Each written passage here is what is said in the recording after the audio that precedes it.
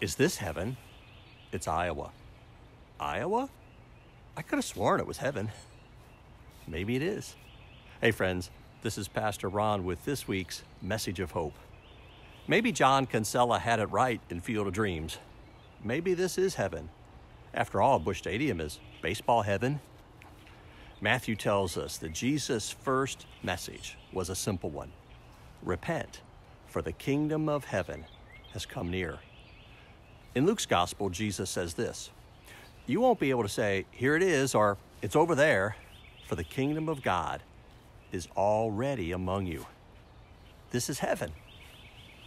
Elsewhere, Jesus talks about the kingdom being a future reality.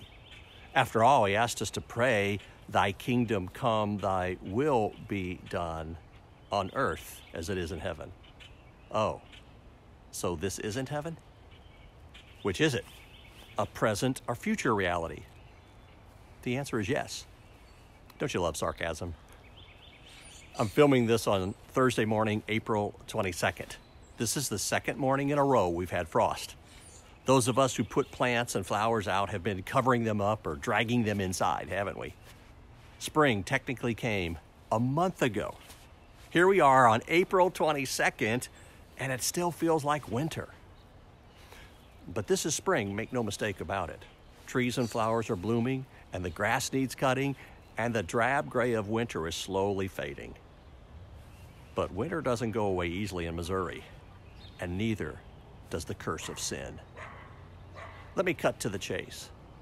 This is not a contradiction in Jesus' teachings or the Bible. This is a tension. It's what theologians call the already not yet.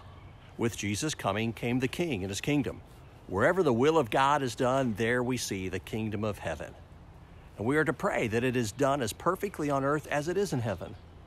But we pray this way because it isn't this way. Everywhere we see and experience the reality of God's will being violated. Only when Jesus returns in power and glory will the kingdom be fully realized. Until then, we get little glimpses, what we might call glory sightings, where we see God at work. One day, in that glorious future, Jesus will reign over the world and all the effects of the curse will be banished. No more pain, no more disease, no more crying, and no more death. So, what does this have to do with your life right now? Everything. In Matthew's gospel, it's called literally the kingdom of the heavens. In Hebrew understanding, the first heaven was what we would call the air around us, the wind, the breeze that we feel. God's presence is here right now. He is closer to you than your next breath. Reach out to Him.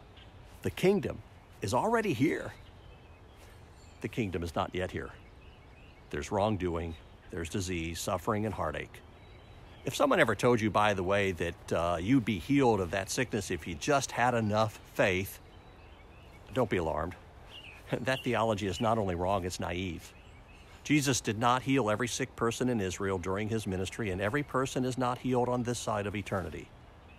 By the way, if that guilt trip has been laid on you by some well intentioned but misinformed Christian, I'm sorry. Healing is a mystery. My mentor, Bob Tuttle, has a saying good theology is balance without compromise. Like the already not yet. The kingdom is already here. Pray with boldness and expectation. The kingdom is not yet here.